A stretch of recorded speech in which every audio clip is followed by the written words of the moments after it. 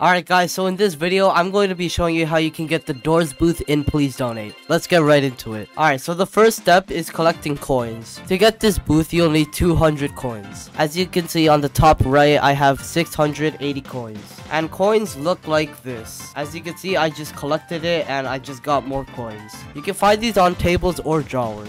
So the next step is in this room right here. What you want to do is walk up to Jeff's shop right here. As you can see, there's going to be a tip jar right here. And using all of your coins, you want to fill up this tip jar. As you can see right here, the tip jar is already full for me. Okay, now what you want to do is walk up to any stand and please donate. Claim the stand, click edit booth, go to the setting icon right here, and scroll until you see the doors booth. And there you should have it, the doors booth. Alright guys, that's all for this video. You guys should subscribe because I will do more content like this. And I'll see you guys in the next video.